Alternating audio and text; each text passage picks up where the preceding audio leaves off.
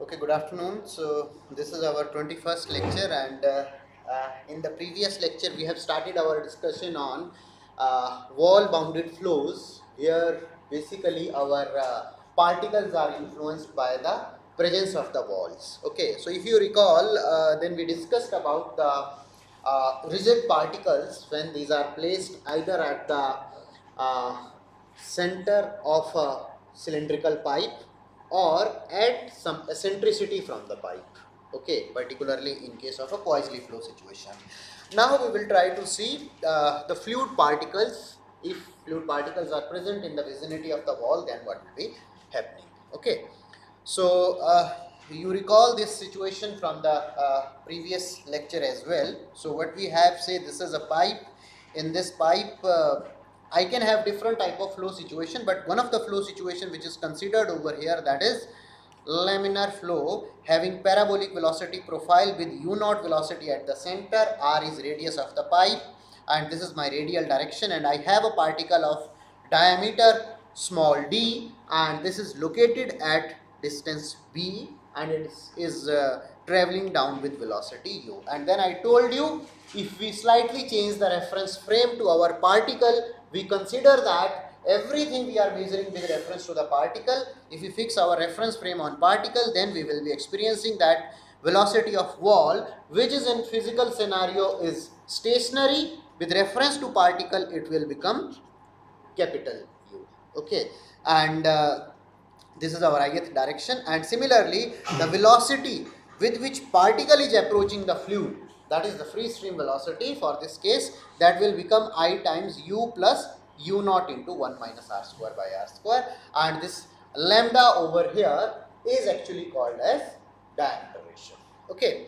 So already we have seen this discussion for rigid particles in the previous lecture. Now we will try to see for uh, fluid particles. Okay. So typically when we will be talking about the fluid particles in wall confined flows we will be dividing our system into two subparts okay? So in first case we will be considering all the situations where lambda is less than equal to 0.6 and second situation we will consider when lambda is greater than 0.6 okay?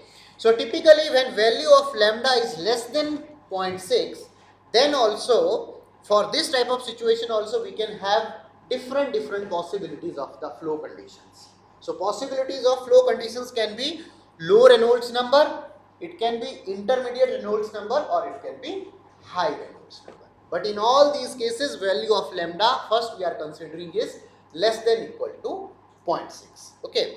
So now this typical case is corresponding to uh, very low Reynolds number. So in case of lambda less than 0.6 we will be finding that even if we are having fluid particles which are nothing but of deformable fluid particles if we have low Reynolds number then also uh, in case of low Reynolds number despite of the presence of fluid particle we will be having actually small deformations. Okay. So the meaning is if my fluid particles are not deforming then whatever the formulations I have applied for solid spheres almost similar formulations I can apply over here with slight correction to account for the variation of the viscosity. Okay. So that's why this relation of drag force is given over here pi mu du into k. So this is something which we have seen for the case of a rigid sphere but in this I have another factor which is coming because of the circulations present within the fluid particles. So that factor is 2 plus 3k divided by 1 plus k. And this uh, settling factor or correction factor k can be obtained using this particular relation which is nothing but simply function of lambda and kappa. So kappa over here is nothing but ratios of viscosity of the particle divided by viscosity of the surrounding. Okay, so if you know the value of lambda and if you know the value of viscosity ratios, you can calculate this correction factor and using this relation you can actually calculate the value of drag force. Okay, is this point clear? So this particular relation will give correct predictions of drag force or terminal velocities when our value of lambda is less than equal to uh, 0.25 okay uh, moreover along with this one more relation is also proposed which is which also gives the reasonable accuracy for fluid particles. And uh, this relation is uh, almost the same but in this relation along with k and k dash uh, along with k we have k dash also and along with u we have u naught also. Where u naught is nothing but terminal velocity for same fluid particle in unconfined fluid. Okay. So the similar data can also be presented in terms of presence of unconfined system.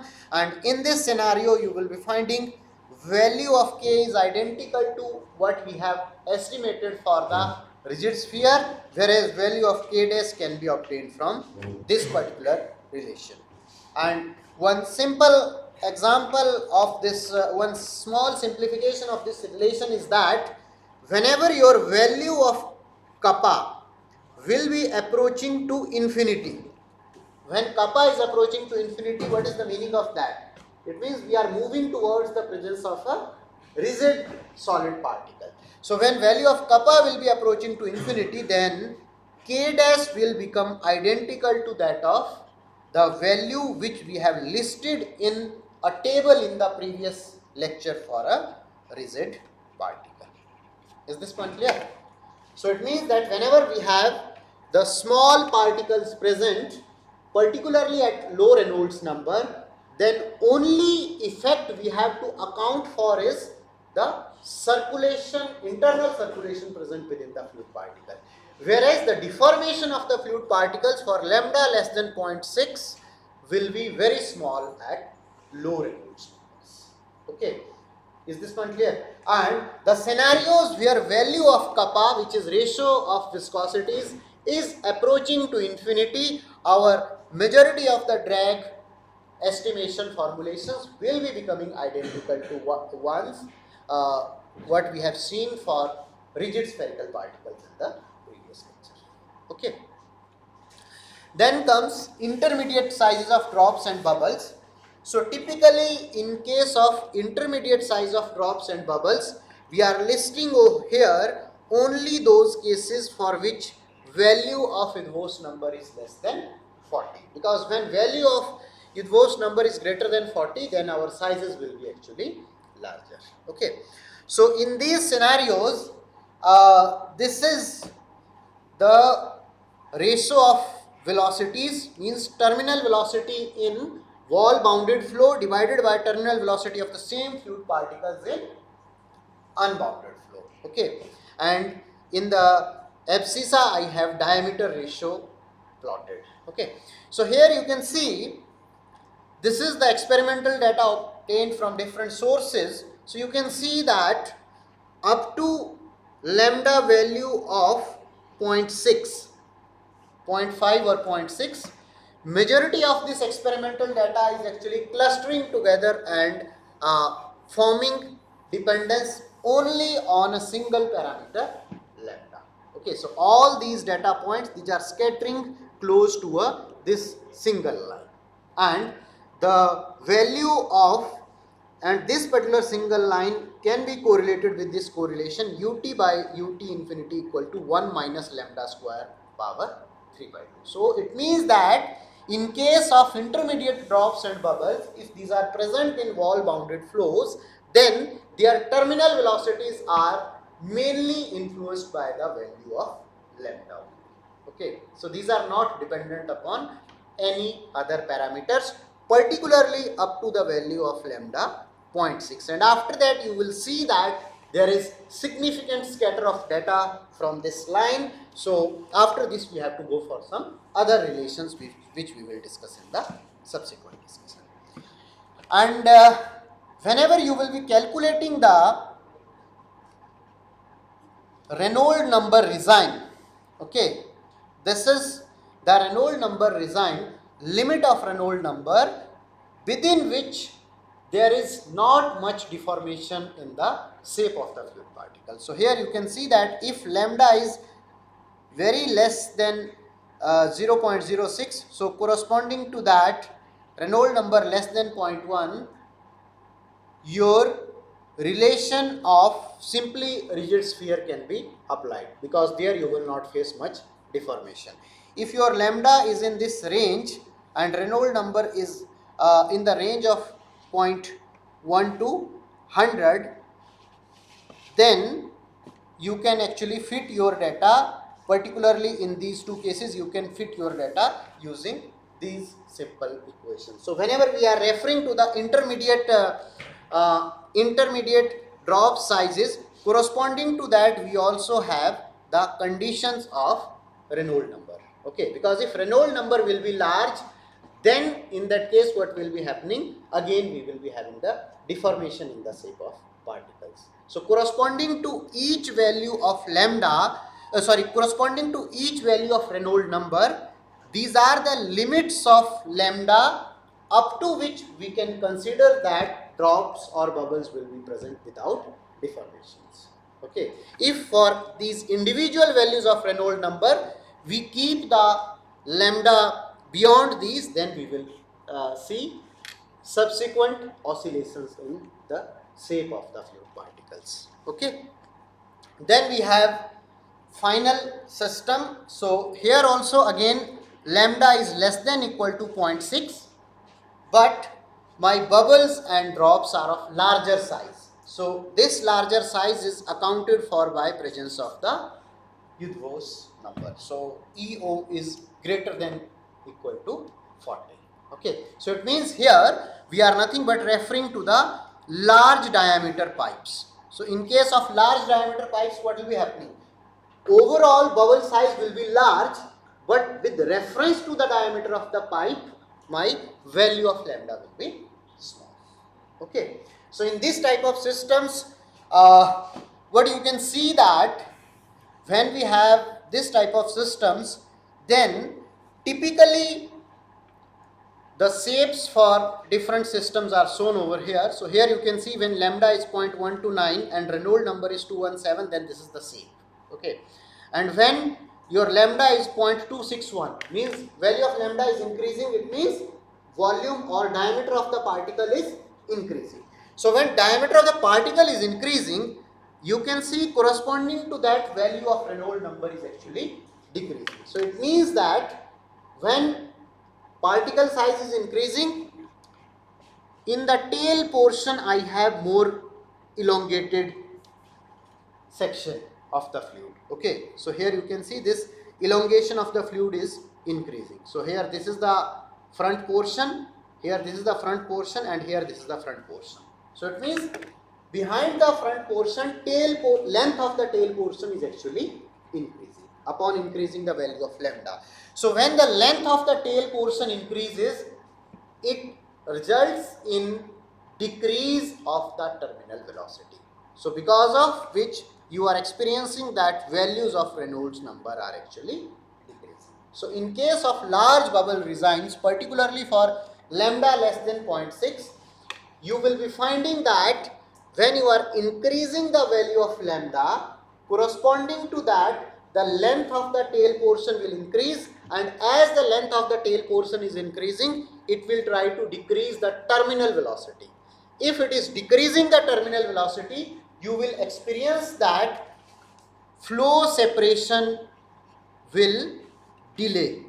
So flow separation or you can say wake formation. Wake formation behind the bubble will delay in this particular case. Bubble or drop will delay in this particular case and at the same point of time upon increase in length of this uh, tail portion you will be experiencing that you will be experiencing that size of the wake will also decrease. So that is something which you can see over here. So here you have different diameters when you are increasing the diameter it means you are increasing the value of lambda your value of terminal velocity of fluid particle is actually decreasing because you are having more longer tail portion. Okay, so because of the presence of more longer tail portion, you will be having large interfacial scale. Okay, so because of which your value of terminal velocity is decreasing and Reynolds number is also decreasing and at the same point of time your wake volume is also actually decreasing. So flow is slowing down, Reynolds number is decreasing. So that's why wake volume is also actually decreasing in this particular case. And for this large bubble regime, again you can simply write your ratios of terminal velocities like terminal velocity in wall bounded divided by terminal velocity in unconfined system as 1.13 times exponential of minus lambda particularly in the range of lambda from 0.125 to 0.6 okay. Then we have next case. So next case is when value of lambda is greater than 0.6 so when value of lambda is greater than 0.6 then particularly the analysis of rigid particles is not possible. Okay. If you consider simply a glass tube and in that glass tube if you just drop a solid wall, a solid wall having value lambda less than 0.6. So that will be particularly following the straight path and you will be able to see the hydrodynamics of that ball with the surrounding fluid. But if you consider lambda greater than 0.6 and then if you drop a solid wall into a glass tube, you will be experiencing that that drop solid wall will not only interfere with the will not only interfere with the fluid but it also try to strike to the wall. And as you will keep on increasing the value of lambda, whenever ideally you will be reaching the value of lambda equal to 1, that particular solid particle will just stop within the pipe and it, it will stuck inside the pipe. Okay. So it means that whenever value of lambda is greater than 0.6 then solid either the motion of solid particle will cease or it will lead to solid interaction uh, sol interaction of the solid particle with the surface of the wall. So that's why that type of analysis cannot be hydrodynamically fully explained. Okay. So that is the reason for lambda greater than 0.6, you will not find any system where solid particles are actually studied. But on contrary, if you have fluid particles present, then even if your value of lambda is greater than 1, then also flow is possible. Why? Can you tell me? What is the meaning of lambda greater than 1? Lambda greater than 1 meaning is that equivalent dia of fluid particle is greater than the internal diameter of the pipeline. So that is possible because in case of fluid particles, if you have larger volume present corresponding to which your equivalent diameter is coming greater than the pipe diameter, you will be having actually deformation in the shape of fluid particle and that deformation will actually lead to elongation of the bubble in the vertical direction. Is this point clear? So here what will happen? There will be elongation of the drop or bubble in the vertical direction.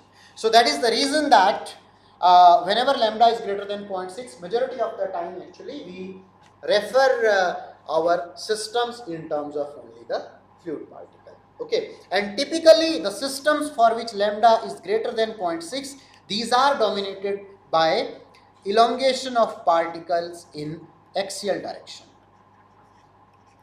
Elongation of particularly fluid particles in axial direction. Okay.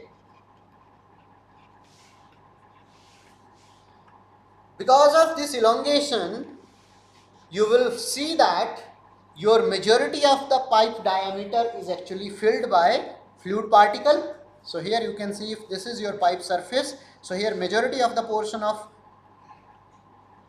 this uh, pipe is actually filled by the fluid particle and in the surroundings of that you have nothing but surrounding continuous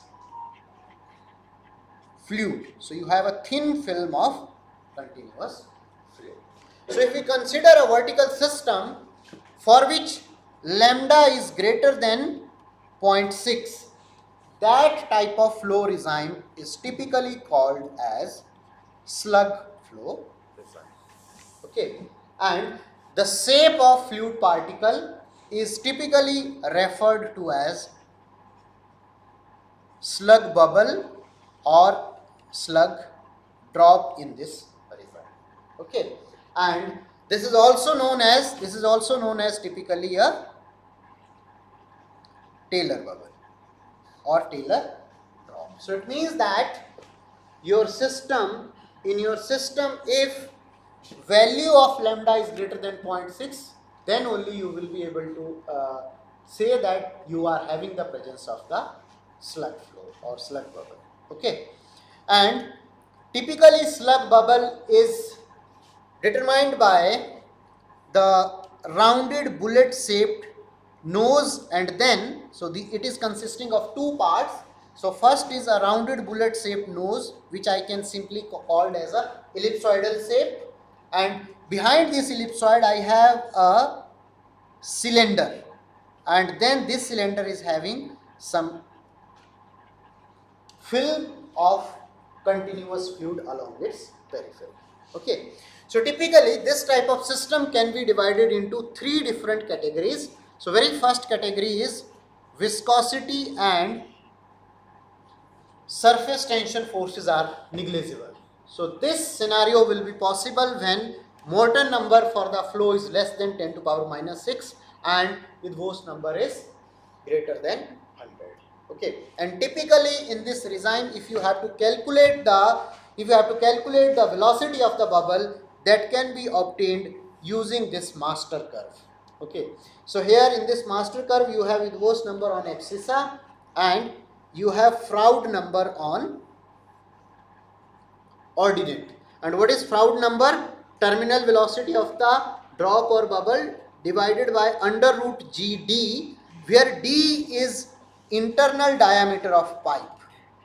Because in this design the thickness of the annular film is actually very very small okay so that's why majorly we are defining the length scale for the fluid particle identical to that of internal diameter of the pipe okay and typically this curve you can see that these lines are corresponding to the different values of Morton number. So this is for Morton number 10 to power minus 6 and then uh, this data is for higher values of Morton.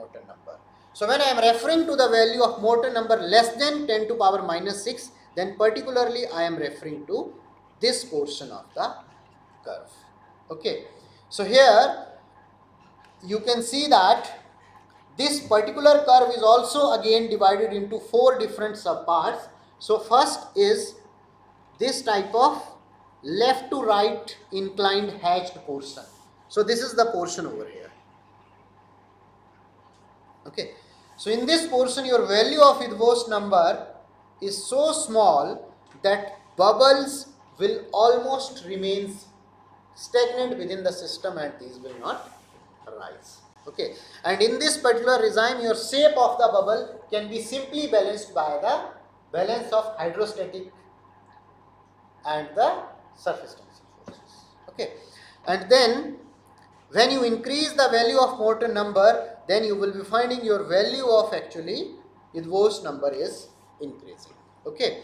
And you have then another regime which is close to the very small values of Froude number. So when Froude number is less than 0 0.01 corresponding to uh, sorry 0 0.05 corresponding to that we call that our inertia effect is actually very very small. So this particular domain of the curve is independent of inertial effects.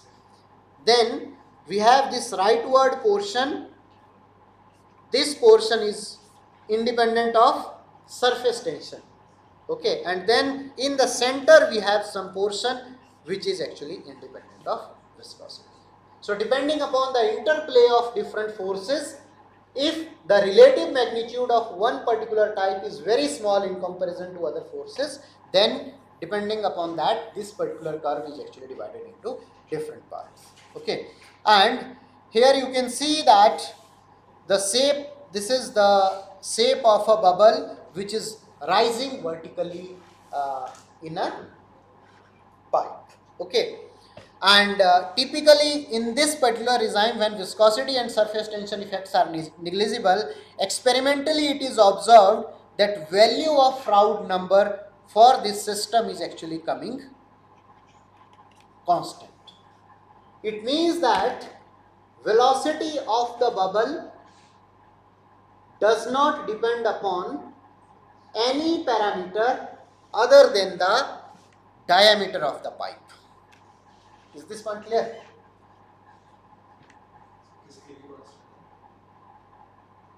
For viscosity and surface tension negligible design. So it means the design in which your Morton number value is less than equal to 10 to power minus 6 and Eötvös number is greater than 100. For that particular design you will be finding that your value of Froude number from different experiments is actually coming out to be constant. So the meaning is that velocity of a Taylor bubble in negligible viscosity design is mainly governed by the diameter of the pipe. Okay, it does not depend upon any other parameter. If you have a larger diameter pipe, then your Taylor bubble velocity will be large. If diameter of the pipe is small, then bubble velocity will be. Okay, so it is a sole function of diameter of the pipe. Is this point clear? Because the ratio FRD which is UT by root GD is constant. It is not even depending upon it is not even depending upon the viscosity of the fluid. So it means if you consider you have two different tubes of same diameter and both are having say air bubble, air Taylor bubble, okay, and one tube is having water as your surrounding continuous fluid and other tube is having some viscous oil as your surrounding continuous fluid. In both cases you will be having the same value of the velocity. Density is to change. Sorry? Density or tourism will be different. So the term uh, uh, density upon that arrow. Of course, density will have effect, but what I am trying to say, I am trying to like uh, emphasize on the viscous effect. Okay, so if you are keeping density ratios in the similar conditions but changing the viscosity, in that scenario you will not experience any change in the velocity of the bubble. Okay, so it means in two different tubes, considering that density ratios are same but viscosity is changing, then also you will be having almost same velocity of the Taylor bubble. Okay, and uh, then we have second regime which is surface tension dominant regime. So surface tension dominant regime it means value of Eötvös number is very very small that is less than 3.4. In this case we will be having motionless bubble as I told you earlier also. So we will be having motionless bubble and majorly its shape will be determined by balance of hydrostatic and capillary forces. Okay. And then we have third regime which is viscosity dominant regime. In case of viscosity dominant regime Eötvös number is greater than 70 and Froude number is less than 0.05. Okay. So in this case what will be happening? Your value of terminal velocity will be inversely proportional to viscosity. Okay. And here if you increase the viscosity then your value of terminal velocity will decrease. And typically one very interesting uh, fact you will be experiencing this is in the viscosity independent regime shape of the bubble in viscosity independent regime and this is in viscosity dependent regime so can you see the difference? What is the difference if you see in this case you have flat tail with slight wavy structure. Okay? But if you have viscous dominant regime then you will be having a perfect ellipsoidal shape over here. So in the trailing edge you will be having oblate ellipsoid and in the leading edge you will be having a prolate ellipsoid. Okay. So that is the difference. So typically in viscosity independent design you will be having a flat bubble with highly turbulent wake structure. Highly turbulent wake structure. So this is a schematic representation but in real scenario you will be finding that in viscosity independent regime behind this Taylor bubble there will be lot of interface fluctuations and large number of small small bubbles will be actually forming behind a larger bubble. But on contrary in viscosity dominant regime you will be finding a very smooth oblate ellipsoidal tail and a prolate ellipsoidal starting okay? And when viscosity effect is dominant then of course what will be happening? This viscosity effect will change the so if you zoom in into this portion so if you zoom in into this portion this is my wall and this is the bubble and this bubble is rising in upward direction wall is stationary and this liquid film is moving in downward direction. So in this portion i will be having formation of a velocity profile within the liquid film. Okay? And this velocity profile will actually govern the interfacial shear so when you have viscosity independent design in that particular case your interfacial shear is negligible. So if interfacial shear is negligible majorly the bubble velocity is controlled by the starting tip shape of the bubble. So that is the reason in previous regime I told you that tip shape depends upon the diameter of the pipe and velocity of the bubble is simply function of diameter of the pipe. Okay.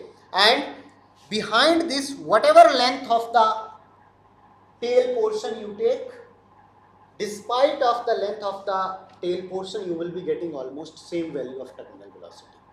So meaning is like you, you have same two pipes in one pipe say you have 1 centimeter long Taylor bubble. In other pipe you have 2 centimeter long Taylor bubble. In third pipe of same diameter you have 5 centimeter long Taylor bubble. But if these are in the viscosity independent design then you will be finding all the bubbles will be having the same value of terminal velocity. Okay. On contrary, if you go to the viscosity dependent design, then when you will increase the length along with increase in length your value of velocity will actually decrease is this point clear so for taylor bubbles if we are in the viscosity independent design then despite any length of the tailing uh, tail portion we will be having the same value of velocity if diameter of the pipe is same. On contrary if we are in the viscosity dominant design then this viscous interfacial viscous forces which are acting because of the presence of the downward motion of the liquid film these will increase if we are increasing the length and our value of terminal velocity will be actually changing. Okay.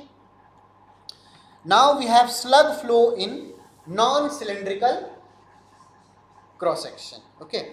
So in case of uh, non cylindrical cross section you can have any configuration for example rectangular square annular. Okay. So majorly it was uh, uh, given that if I have any configuration say this is a rectangular one. So one side of the channel is having dia d1 and other side of the channel is having dia d2 so then Froude number can be calculated as function 0.23 into 0.13 d2 by d1 okay. And if you have say annular section so this is solid tube of internal uh, of external dia di and this is a hollow tube of dia do internal dia do in this case your bubble will be actually staying in this portion. So in case of annular portion you will be having actually velocity something like this. Okay. But one interesting fact is that what is your hypothesis? You will think that if you have say a annular section then in case of annular section you may think your bubble will be forming a ring like structure something like this. This is something which you may experience okay? But in reality you will be finding if you have an annular tube your bubble will not be having closed ring like structure but it will be forming a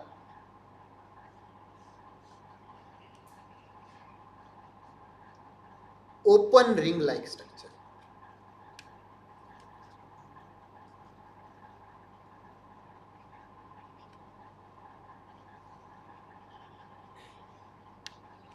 Is this point clear so experimental evidences shows that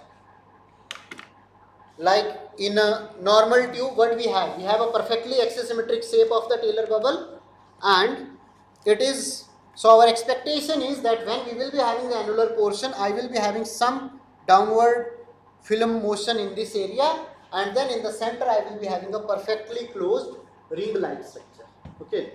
But experimental evidences shows that it is very difficult for low viscous fluids to sustain a perfectly ring structure and we have this open type of encapsulated fluid particle structure when we are having the annular process. Okay.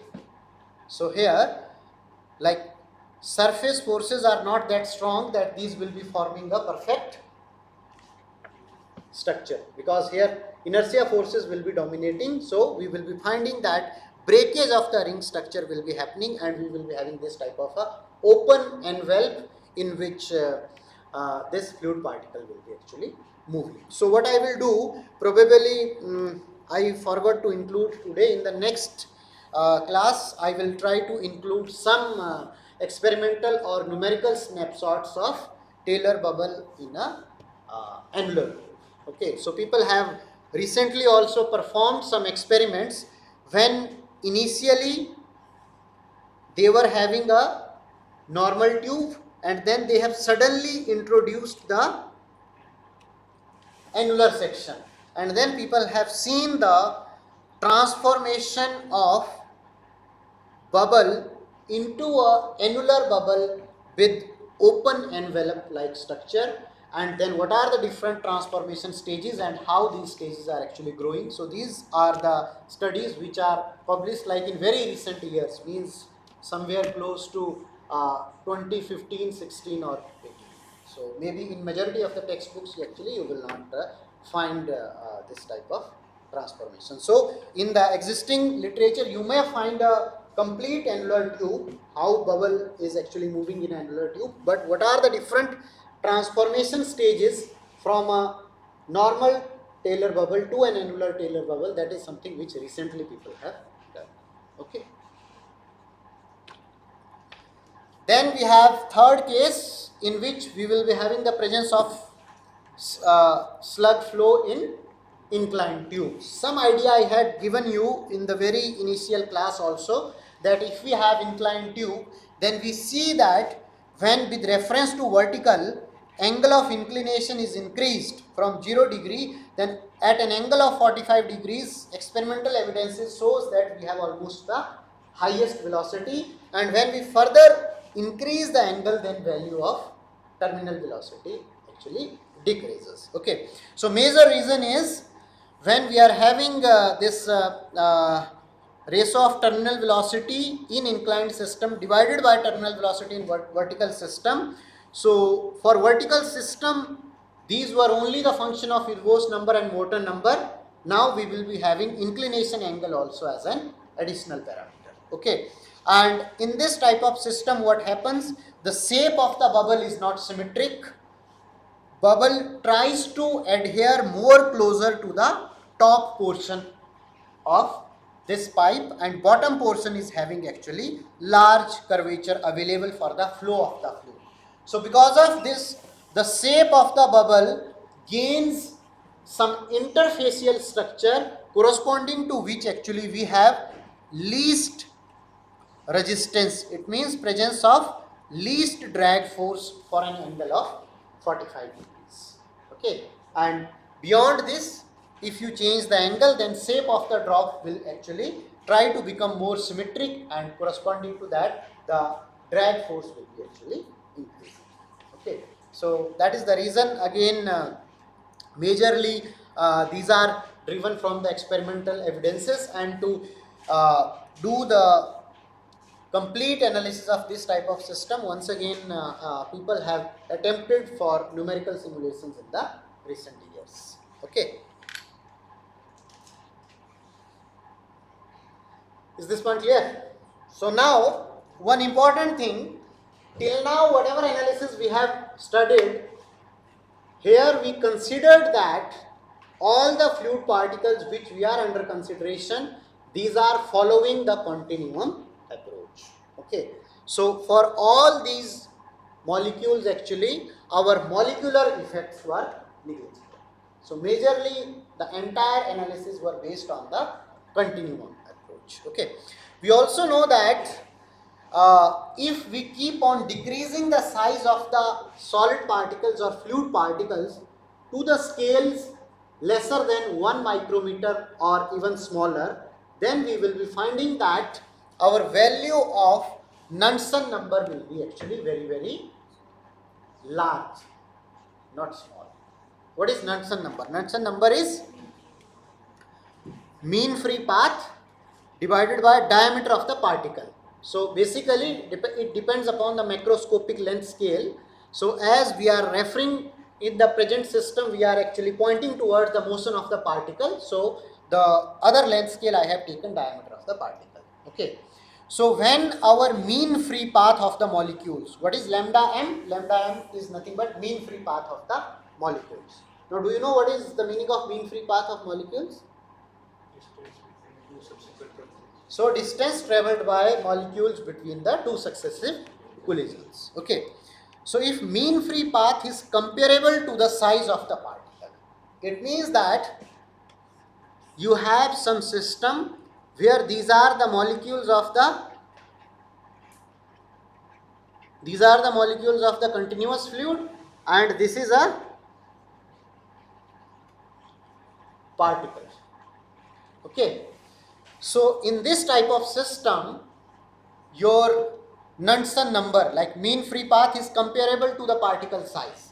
So in this case, your value of Knudsen number will be close to 1. Okay. So if value of Knudsen number is close to 1, corresponding to that our approach of continuum will not be valid. So in this case what will happen when this molecule is actually moving it will it there may be possibility that this molecule is actually striking with the particle. Okay. Now, when the molecule is coming towards the particle, size of particle is also very very small. So what will happen when this molecule will strike with the particle, this particle will get displaced because of the collision with this molecule. Then some other molecule may interfere with this particle at this location and then that molecule is having sufficient inertia in order to displace this particle because now particle size is very very small. Okay. So in this case we will be finding that the motion of the particle will be influenced by the random motion of the molecules. So this type of motion is called as Brownian motion. Okay.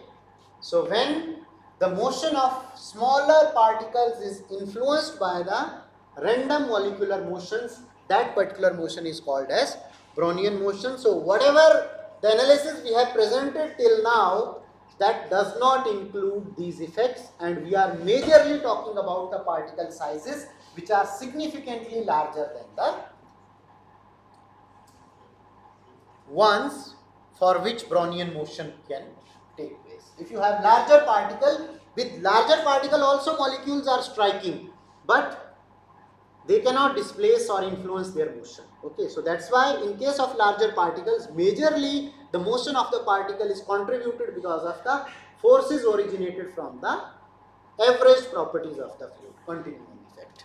So that is one uh, assumption which you need to consider, uh, which you need to keep into mind that uh, if someone says that whatever the analysis we have applied with that analysis can you predict the brownian motion so that is something which is not possible okay. Then second important point is we can have some cases where the value of value of Knudsen number is finite. Okay. Means it is lesser than 1 but it is in the say transition range from continuum to molecular effect. Okay. So it is finite but still it is small. Small enough to apply the approximation of continuum so in that border condition if you calculate drag force then that drag force can be modified by this multiplying factor 1 plus 2a into k where a is some constant whose order is actually unity. So means value of a will be of the order of 1. Okay, is this point clear?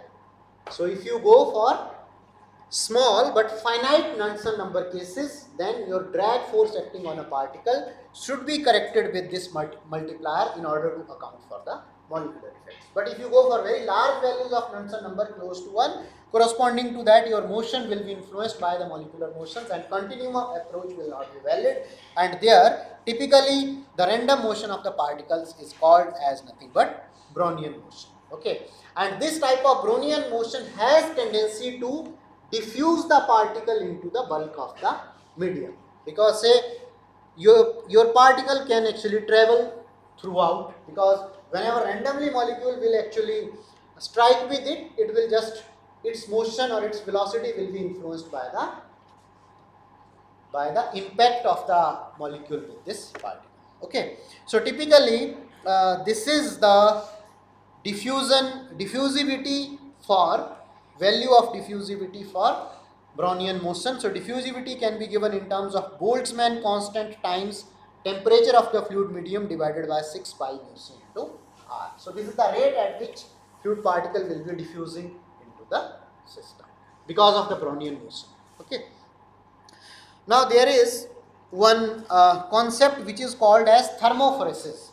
So at molecular level what can happen if you have say in your system two types of molecules. In one side you have molecules whose temperature is large. So high temperature molecules and in other side you have cold temperature molecules. So in this case what will be happening? If you have a particle over here, this particle will be experiencing more force because of the high temperature molecules. Because high temperature molecules will be having larger vibrations. So because of this, this particle will be transported from high temperature zone to low temperature zone. Okay. So this type of motion is called as thermophoresis. Is this point clear? Then second type of motion is at the molecular level is called as photophoresis. So in case of photophoresis, you, what you can have is say these are the again the molecules. Here also you have molecules and then some particle here so you are subjecting this system to some sort of radiations, okay, and you have non-uniform radiation intensity. So in this portion, your radiation intensity is high, and in this portion, your radiation intensity intensity is low. So then again, here you will be having high energy particle, and because of the non-uniform radiation, when particle motion is influenced in certain direction, that is called as photo and then there is third quantity which is called as sonophoresis. So in case of sonophoresis actually you can have different amplitude of sound waves. Okay, so you can have say in one portion of this room different sound wave, in other portion of this room different sound wave. For example, I am speaking, so exactly the molecules which are just in the vicinity of my mouth, these will be having more energy in other portion far away from this energy will be less. So if I consider any dust particles which are just in the vicinity of my mouth, these will be transported from this point to some portion away from that because of these uh, sound waves. So that is called as sonophoresis. Okay, so all these are molecular effects just for your. Uh, sir जो photophoresis होता है तो इसमें wave तो temperature से related होगी जो intensity होगी yes तो डिफरेंस मतलब अलग अलग कैसे difference is because whenever you are only considering say the uh, when you are considering the temperature effect because of any mode okay any mode means conduction convection or other modes then you are specifically naming the uh, then you are naming it as a thermophoresis but when you are specifically considering the effect of only radiations, then we are calling it as photophoresis. Is part consider Yes. Okay, so these are just for your understanding and just to make differentiation that whatever analysis we have done that is not applicable for these type of system. So if you have very small particles, then whatever analysis we have done, that is not applicable. Then comes another important point. So till now whatever analysis for particles we have done that is considering that all the particles are moving at uniform velocity in the stagnant fluid. So it means if particles are having uniform velocity, there is no acceleration of the particle. Okay. But in real scenario, what can have? We can have acceleration of the particle at the same point of time we can have reverse situation that particle is moving at constant velocity but the continuous fluid which is containing the particle that is having acceleration or we can have more generic scenario that both particle as well as the surrounding continuous fluid both are accelerating. Okay. So in that scenario our situation will be more complicated. So when we can have unsteady particle motion okay. So for unsteady particle motion when you will be writing the equation of motion of for a particle then you have to consider actually different forces. So first is we know that from newton's second law that uh, mass of particle should be equal to the net sum of forces acting on the particle. Okay. Uh, sorry inertia of the particle. So that is what i have written over here. So mp into dv by dt where this bold v represents the velocity vector of the particle. Okay. So mp into dv by dt represents the rate of change of momentum of the particle. And another important point is here whenever i am writing this unsteady particle equation motion this i am considering a rigid constant volume.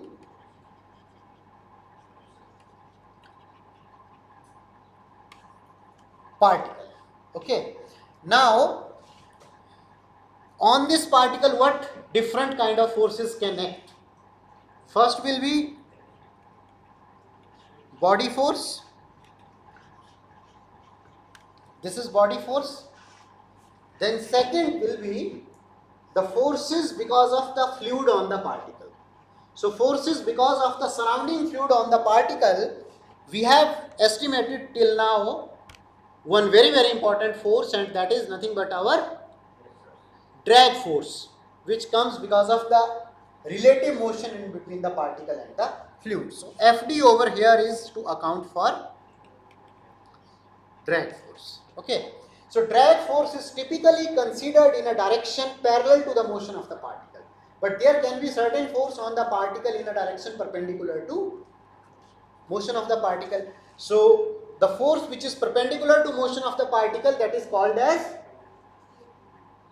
lift force. So other force I can have is lift force. Okay. Now other than drag and lift, this is also one term.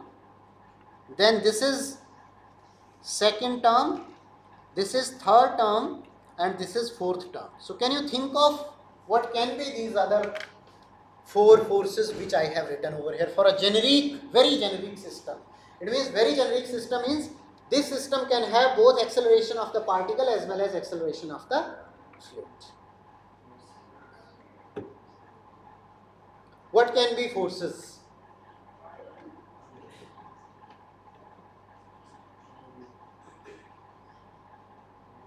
We have seen that in case of uniform motion of the particle, drag and lift are coming. So drag and lift I have already accounted. Gravity I have accounted. Now I have four other forces which I have listed over here for unsteady particle motions. Now what are these uh, four forces? Can you get some idea? Accounted in gravity.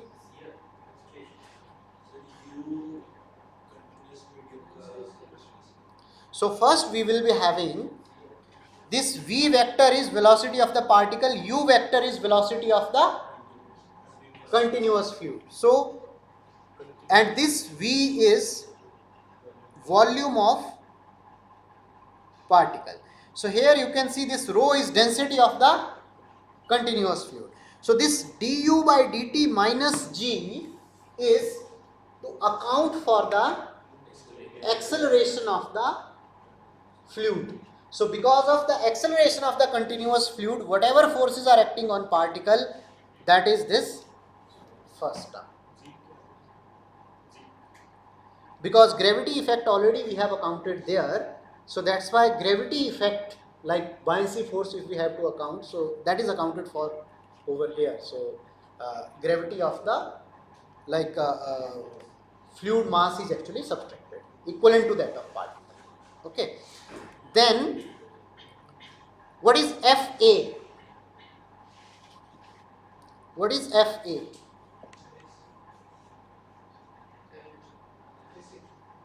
Sorry? Which force? No. This is called as added mass force. Okay. What is the meaning of added mass?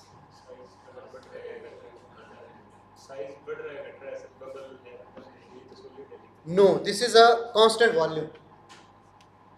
The meaning of added mass is if you have a solid sphere or any other solid object, when the object is accelerating a, accelerating in a fluid, this will not only move through and completely separate out the remaining fluid, but a part of the remaining fluid will be sticking to the particle and that will also be moving with the particle. Okay. So as a whole, if you experience, the mass of particle will be modified. So whatever be the existing mass of the particle, in comparison to that, the experienced mass of the particle will be more because some fluid which is just adhered to the particle that will be doing the similar that will be having similar acceleration as that of the particle. So that's why we have to also add that particular mass of the fluid in the acceleration component. So that is called as added mass force. Hoga i will show the formulation subsequently. And then we have fh fh is called as history force. What is the meaning of history force? Whenever a particle is accelerating in a fluid it generates some vertical structures and wave structures. Okay? So these wave structures are having generation of some vorticity field. And ultimately that vorticity field gets convective convected and diffused into the remaining portion of the fluid so when that force is so it means if a particle has moved at certain time through this point and say after some time this particle is at some new location then whatever the wake or vorticity field it has induced previously that will also affect its motion in the subsequent time step because it is affecting the surrounding continuous fluid motion. So because of this whatever force is coming that is called as time history force. And fourth is additional force. So additional force will come like if you have more effects into the system. For example, if your particle is moving and then you, you have added some magnetic field into your system. So then that will come. If you have added some electric field into the system, then some additional electric force will come. Okay. So typically, if you simply consider that you have a very simple system in which fluid is not accelerating, only particle is accelerating, then also you will have this term, this term, and these four forces term. Okay, so it means unsteady motion of the particles is actually not very easy. Now till now it is it seems very easy. I have simply written FD, FL, FA, FH. But what are the values of FD, FA, FH, FL? So that is also again a complicated task. Okay. But all these forces are nothing but coming from single contribution. And what is that single contribution? Integral of sigma dot ds along the surface of the particle. So all these forces are nothing but result of the interaction of particle with its surrounding surface. Okay, so all the forces on right hand side other than this weight of the particle, whatever I am writing over here, these are contributed from the surface effect. Okay, so it means if you have to see the full-fledged derivation of these individual components, what you need to do, you need to start from integral of sigma dot ds and then when you will be expanding the different terms of this particular surface force component, then you will be getting all these forces as the outcome of this single quantity. Okay. So of course this is unsteady particle motion. Again it's a very uh, like uh, very detailed thing. If we have to determine from first principle the values of each and every force we will not go to that much detail. Just for your understanding I have shown you this uh, slide. Now we will quickly move from our next lecture to the theoretical analysis of the system where uh, large number of particles are available in a surrounding continuous fluid. So how we can model that type of system and then after that when I will be uh, specifically talking about the numerical techniques or numerical methods used for solution of multi-phase flow problems then I will once again come back to this particular uh, equation and whenever I will be specifically talking about one method called as Lagrangian point particle approach. Okay, so whenever you do your numerical simulations, maybe unknowingly you may not know, but whenever you use ANSYS Fluent and then you consider, say, you are injecting some particles in the flow and then studying the motion of these particles in the flow, then ultimately you are actually solving this particular equation. Okay, so whenever I will be discussing the solution of uh, this numerical solution of the multi-phase flow problems using different uh, numerical models available, there once again I will actually come back to this equation and I will discuss this in more detail. Uh, moreover, I have included some additional discussion on added mass force in this particular uh, lecture, but uh, maybe uh, in the interest of time I will skip this and if you are interested so you can just uh, uh, go through these slides and some uh, literature from your textbooks. Okay